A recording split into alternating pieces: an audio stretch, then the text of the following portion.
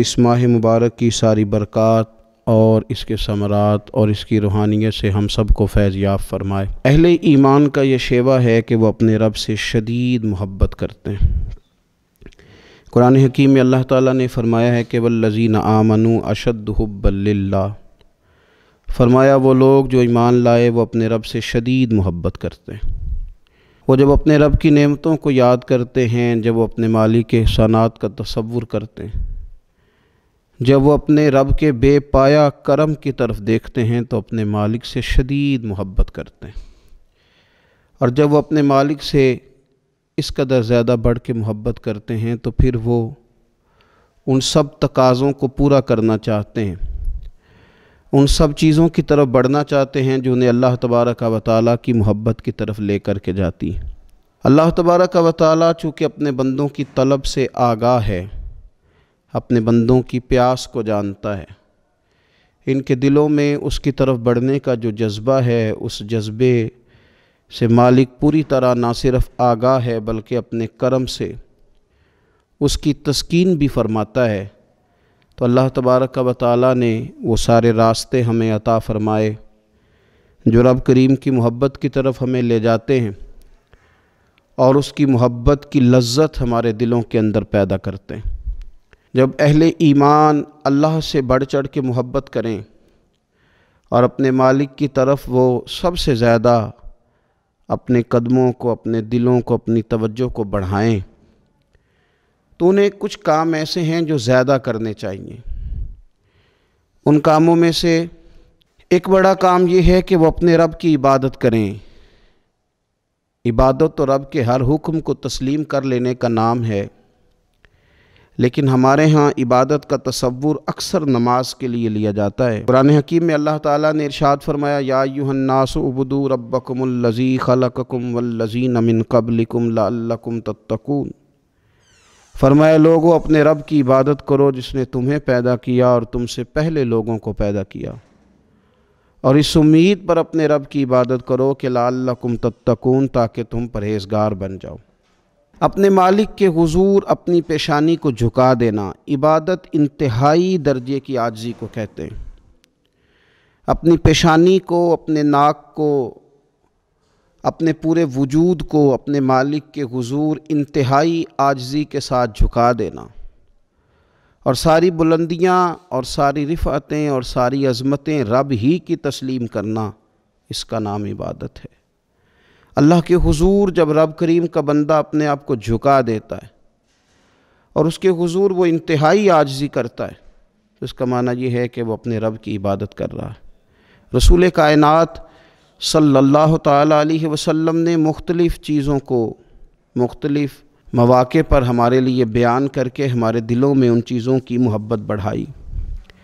इस रमज़ान मुबारक में ख़ास करके हमें उन चीज़ों पर तवज्जो करनी है।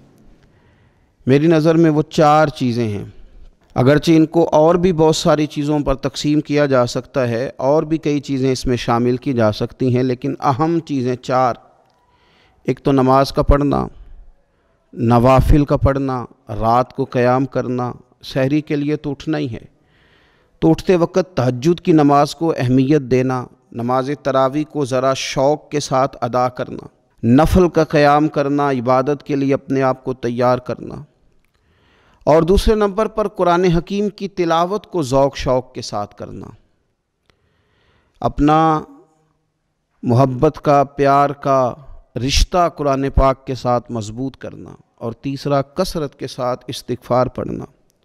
अपने मालिक से अपने गुनाहों की माफ़ी मांगना, आइंदा गुनाह न करने का अहद करना और चौथा, दुआएँ मांगना। ये चार चीज़ें अगर थोड़ी तवज्जो के साथ इस माह मुक़दस में रोज़ाना के मामूलात में शामिल कर ली जाएँ नमाज़, तिलावत कुरान मजीद इस्तफ़ार और दुआ। आप देखिए कि नबी करीम सल्लल्लाहु अलैहि वसल्लम नमाज़ के अंदर महव रहने को पसंद करते थे। हुजूर नमाज़ के अंदर शामिल रहने को और नमाज़ को बार बार अदा करने को पसंद करते थे। हर मौके पर हुजूर नमाज़ अदा फरमाते, हर मौके पर। सूरज ग्रहण है तो नमाज़ हो रही है, चाँद ग्रहण है तो नमाज़ हो रही है, बारिश नहीं होती तो करीब महबूब अलैहिस्सलाम नमाज़ अदा कर रहे हैं। बारिशें कसरत से होने लगी, तूफ़ान और आंधियाँ आने लगी तो हुजूर नमाज़ अदा फरमा रहे हैं। जंग के मौके पर, बदर के मौके पर लोगों की सहाबा की सफ़ें दुरुस्त करके हुजूर ख़ुद मुसल्ला पर तशरीफ़ ले गए और नमाज़ शुरू कर ली। तो हर वक्त नमाज़ के तरफ़ हुजूर की तवज्जो हमें बताती है कि नमाज़ पढ़ना, नफल पढ़ना, इबादत करना, ये कितना दिलचस्पी वाला काम है। और मुसलमान का इसके साथ शौक़ किस कदर ज़्यादा होना चाहिए? आज हम ज़्यादा बेचैन इसलिए रहते हैं कि हमारा ताल्लुक़ बाकी सब चीज़ों से मज़बूत हुआ, लेकिन मुसल्ले के साथ कमज़ोर हुआ। हमारी बहुत सारी इस दौर की जिद्दतों ने हमसे हमारे मुसल्ले की इस्तफ़ार की, तिलावत की, दुआ की लज्जत छीनी। अगर हम थोड़ा लौट करके आएँ, और कुछ घंटों के लिए, कुछ वक्त के लिए, कुछ टाइम के लिए, अगरचे वो मुख्तसर ही क्यों ना हो, हम अपने मामूलात जो इबादत के ताल्लुक़ से उनको मज़बूत करें, मोबाइल बंद किए जाएँ, एक कोना तलाश किया जाए, कोशिश की जाए, तन्हाई करे इंसान अपने मालिक के साथ। नबी पाक सल्लल्लाहु अलैहि वसल्लम ने जो हमें तरीके बतलाए हैं, उन तरीक़ों की रोशनी में इंसान अकेला बैठे अपने मालिक के हुजूर। और ख़ूब उसकी बारगाह में नफल पढ़े, तिलावत करे इस्तफ़ार पढ़े, फिर दुआएँ मांगे। अपने लिए भी मांगे, उम्मत के लिए भी मांगे। अपने लिए भी मांगे, अपनों के लिए भी मांगे। सब के लिए अल्लाह के हुजूर से वो खैर तलब करे। हज़रत सैदना जैद बिन साबित रदी अल्लाह तु इरशाद फरमाते हैं मजमा जवायद में, मुसनद इमाम अहमद बिन हम्बल में यह हदीस मौजूद है। आप फरमाते हैं कि मैं नबी पाक सल्लल्लाहु अलैहि वसल्लम के साथ अक्सर नमाज़ के लिए जाया करता था। तो मैं इनफरादी अंदाज देखता नबी पाक सल्लल्लाहु अलैहि वसल्लम का कि हुजूर जब नमाज़ के लिए चलते तो छोटे छोटे कदमों के साथ चलते। जो नबी पाक सल्लल्लाहु अलैहि वसल्लम का रूटीन में चलने का अंदाज एक करीमाना था, उससे हटकर हुजूर मुख्तसर कदम उठाते और नमाज़ के लिए तशरीफ़ ले जाते। मैं इस खूबसूरत अदा पर तवज्जो करता तो मेरे करीब महबूब सल्लल्लाहु अलैहि वसल्लम ने मुझसे फरमाया, जैद, तुम जानते हो मैं मुख्तसर कदम क्यों उठाता हूँ?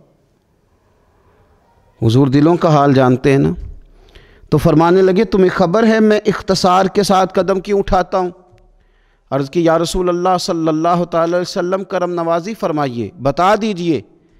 तो हुजूर फरमाने लगे कि जब तक इंसान नमाज़ की तलब में रहता है ना, वो नमाज़ ही में रहता है।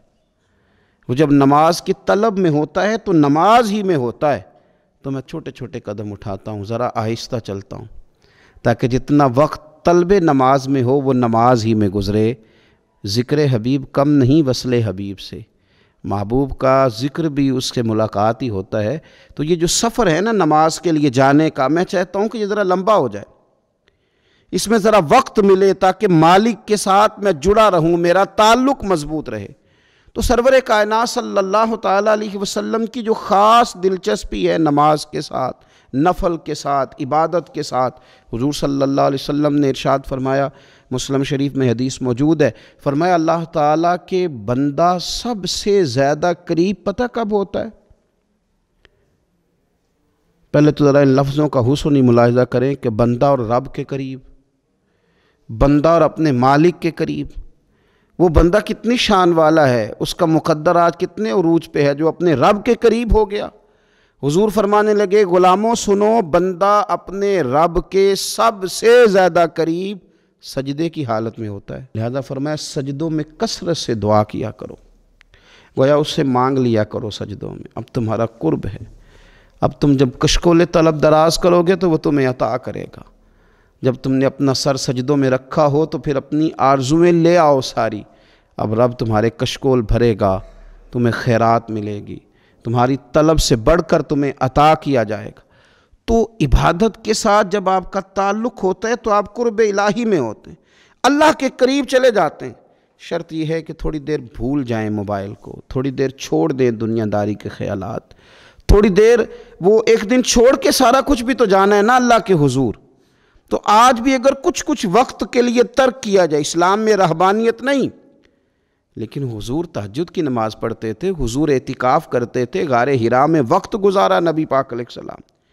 कुछ वक्त तो ऐसा हो जो इंसान अपने रब के साथ गुजारे, अल्लाह के साथ अपने ताल्लुक़ को वो मज़बूत करे। देखिए, हज़रत सैदना यूसुफ बिन अब्दुल्ला बिन सलाम रदी अल्लाह तु ये हज़रत अब्दुल्ला बिन सलाम रदी अल्लाह तु मारूफ सहाबी रसूल सल्लल्लाहु अलैहि वसल्लम के साहिबजादे, ये हज़रत अबू दरदा रदी अल्लाह तु से मिलने के लिए तशरीफ़ ले गए।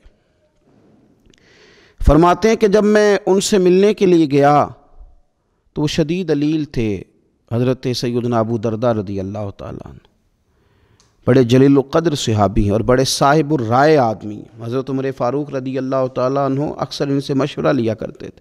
फरमाते मैं जब उनसे मिलने के लिए गया तो वो सख्त बीमार थे। और उसी बीमारी में उनका विसाल हुआ।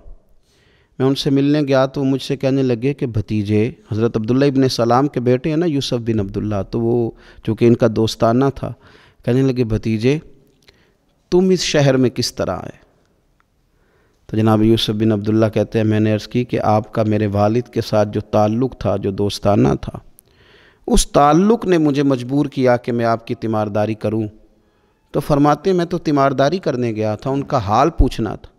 लेकिन ये लोग जो हुजूर के दीन की तबलीग के लिए जज्बात रखते थे और एक दूसरे को अल्लाह की जानब मुतवजह करने का जो जज्बा रखते थे, वो बड़ा अनोखा है एक शख्स तीमारदारी करने गया है तो हज़रत सैदना अबू दरदा रदी अल्लाह तुम फरमाने लगे, भतीजे, मैं इस वक्त उस कैफियत में हूँ कि झूठ बोलना बहुत बुरा है।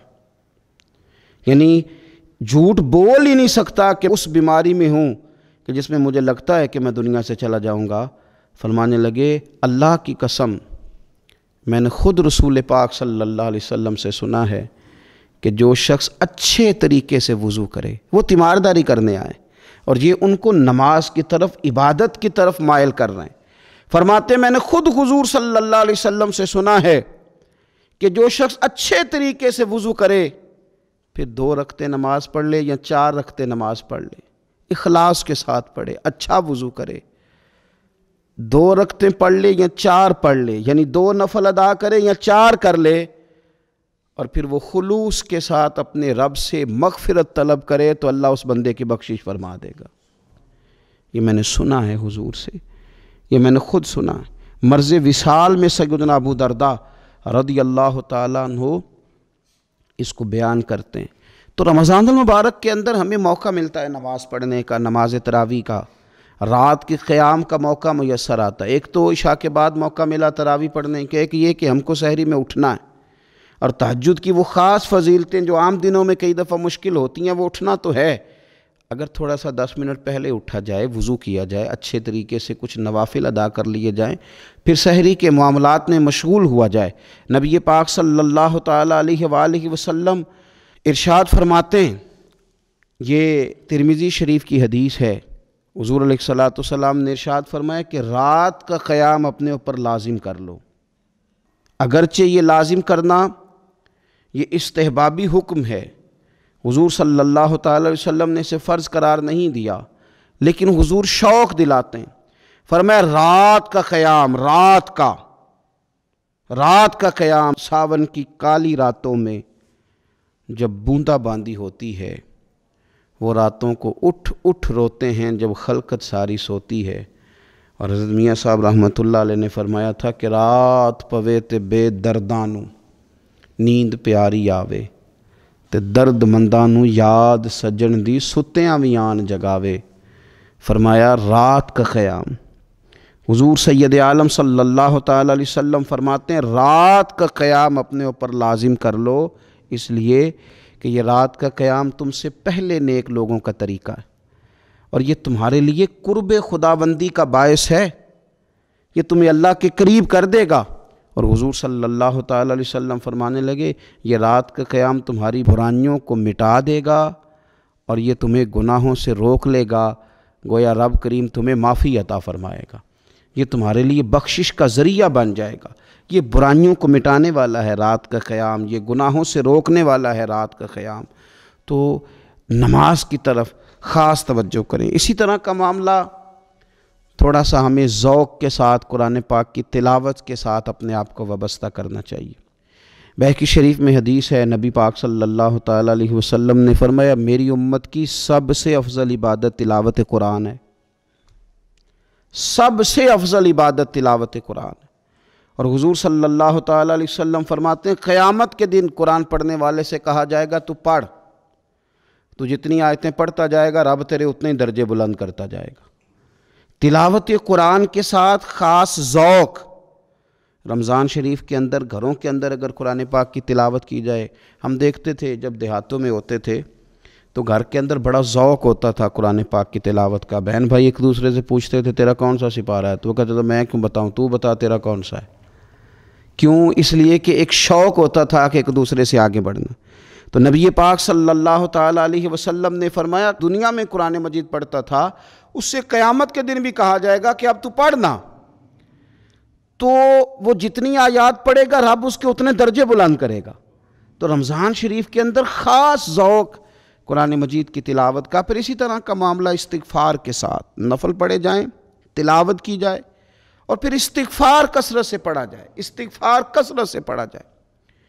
नबी पाक सल्लल्लाहु अलैहि वसल्लम का ना महबूब वजीफ़ा इस्तफ़ार पढ़ना, अल्लाह के हुजूर तवज्जो करना, तौबा करना। हुजूर तो मासूम है। नबी पाक तो मासूम अनिल ख़ता हुजूर से तो माजल्ला कोई गुना सरजद होता ही नहीं। और अम्बिया के बारे में जो कोई ऐसे नज़रियात रखे, वो गुमराह है।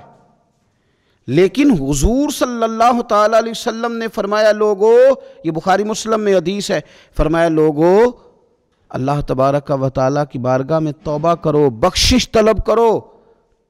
हुजूर फरमाते, मैं दिन में सौ मरतबा अपने रब की बारगाह में तोबा करता हूँ। हुजूर तो मासूम है। ये तोबा किस लिए है? ये तालीम उम्मत के लिए। ये हमें समझाने के लिए। ये हमारी तवज्जो दिलाने के लिए। ये बताने के लिए है कि ये इस्तफ़ार दर्जात को बुलंद करता है। अल्लाह की तरफ़ रुजू करने के लिए कसरत के साथ इस्तफ़ार की जाए। अपने रब से माफ़ी मांगी। जाए हम इंसान हैं कुछ गलतियाँ ना चाहते हुए भी हो जाती हैं। बहुत कोशिश के बावजूद कुछ चीज़ों पर कंट्रोल नहीं रख पाते हमसे सरजद हो जाती हैं। रमज़ान की सातों में, सुबहों में, शामों में, सहरी में इफ़ार में, तरावी में तहजद में, अगर अल्लाह के हुजूर इस्तफ़ार की जाए, अल्लाह के हुजूर इस्तफ़ार की जाए। मुस्ंद इमाम अहमद बिन हम्बल में हदीस है हुजूर सल्ला अलैहि फरमाते हैं, और ये हदीस इतनी ज़्यादा इंसान को खुशी देती है, और रब की रहमत को बंदे के इतना करीब कर देती है, इतना अल्लाह के करीब कर देती है कि इंसान झूम उठता है। कभी इस हदीस के जुमलों पर गौर करें, नबी पाक सल्लल्लाहु अलैहि वसल्लम किस तरह रब की रहमत हमारे सामने बयान करते हैं, और जब हुजूर अपनी ज़ुबान नूर से बयान करते हैं फिर तो यूँ लगता है कि रूह की गहराइयों तक बात चली गई। हुजूर सैद आलम सल्लल्लाहु अलैहि वसल्लम फरमाते हैं, शैतान ने रब करीम की बारगाह में ये कहा था कि मालिक, मुझे तेरी इज़्ज़त की कसम। जब तक इन लोगों के जिस्मों में रूह रहेगी, मैं इन्हें गुमराह करता रहूँगा। जब अल्लाह ने उसे कहा ना कि, तू निकल जा, तू मरदूद है तो उसने कहा, मुझे तेरी इज़्ज़त की कसम। जब तक इनके जिस्मों में रूह बाकी है, मैं इन्हें गुमराह करता रहूँगा। तो मेरे करीब महबूब सलाम मदीने वाले प्यारे हबीब सलाम फरमाते हैं, रब करीम ने फरमाया, सोनो इबलीस, अगर तू ये कसम उठाता है कि तू जब तक इनके जिस्मों में रूह है, इन्हें गुमराह करता रहेगा तो फिर मुझे भी अपने इज़्ज़त और जलाल की कसम, ये जब तक मुझसे माफ़ी मांगते रहेंगे, मैं इन्हें माफ़ करता रहूँगा। मैं भी इन्हें माफ़ करता रहूँगा, ये जब जब मुझसे बख्शिश मांगेंगे, जब जब मुझसे बख्शिश मांगेंगे, इस यहाँ से कभी हमने किनारा ना किया और तूने भी तो दिल आजुर्दा हमारा ना किया। हमने तो जहन्नम की बहुत की तदबीर, पर मेरे मौला तेरी रहमत ने गवारा ना किया। तो कसरत के साथ इस्तफ़ार रमज़ान में किया जाए। अल्लाह के हुजूर माफ़ियाँ मांगी जाएँ। और मैं तो कहता हूँ, अपने लिए भी मांगी जाए, दूसरों के लिए भी मांगी जाए। इस्तफ़ार से वो मान जाता है। और फिर सबसे ज़्यादा जिस चीज़ पर तवज्जो देने की ज़रूरत है, वो है इबादत का मगज़, यानी दुआ। मैं अक्सर कहता रहता हूँ कि हमारे डॉक्टर हमें ये कहते हैं कि तुम्हारे दिलों में कुछ दुख हैं, वो कह दो तो तुम्हारी बीमारियाँ हल्की हो जाएँगी। दिल के बोझ उतार दो। तुम कह दो किसी से अपने गम ताकि तुम्हारे दिल हल्के हो जाएँ। अब कुछ गम बड़े ज़ाती किस्म के हैं, बंदा किसी से कह ही नहीं सकता। बड़ी निजी किस्म के कुछ दुख हैं, किसी से कैसे बयान करे? तो हमारे दीन ने हमें दुआ सिखाई। माना क्या है, जो किसी से नहीं कह सकते, वो रब रसूल से कह दो। कह दो ताकि तुम्हारा दिल भी हल्का हो, तुम्हारी इज़्ज़त भी महफूज रहे।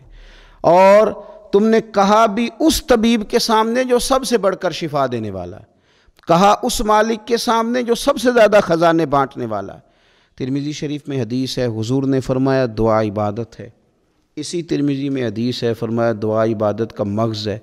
और इसी तिरमिज़ी में हदीस है, नबी पाक सलाम ने फरमाया, याद रखो, रब के नज़दीक, अल्लाह के नज़दीक दुआ से ज़्यादा इज़्ज़त वाली चीज़ कोई नहीं। इससे बड़ी कराम वाली चीज़ ही कोई नहीं, अल्लाह के हुजूर। तुम अपने रब से जब मांगते हो तो बड़े मुआज़ होते हो। दुनियादारों के सामने हाथ फैलाओगे, दुख सुनाओगे तो इज़्ज़त में कमी आए लेकिन जब तुम अल्लाह से मांगते हो, मालिक के हुजूर कशकोले तलब दराज करते हो तो इससे बड़ी इज़्ज़त वाली चीज़ कोई नहीं। फिर एक दिल में सवाल आता था कि कितना को मांगे, मालिक से कितना सवाल करें, किस कदर तलब करें? तो बहकी शरीफ में हुजूर ने यह मसला भी हल कर दिया। अल्लाह के प्यारे हबीब सलाम ने फरमाया, हर चीज़ अपने रब से मांग लो। हर चीज़ अपने रब से तलब करो। हती के नमक ही क्यों ना हो? वो भी मांगना हो तो मालिक से ही मांगो। अल्लाह के हुजूर अर्ज़ करो, उसके प्यारे महबूब सलाम के ग़ुलामों, तुम्हारे हाथ वसीला जो आ गया है मदीने वाले महबूब का, उसकी बारगाह से मांगो बार बार मांगो, कई बार मांगो। और अपने लिए भी तलब करो, दूसरों के लिए भी तलब करो, उम्मत के लिए तलब करो, मुल्क मिल्लत के लिए तलब करो।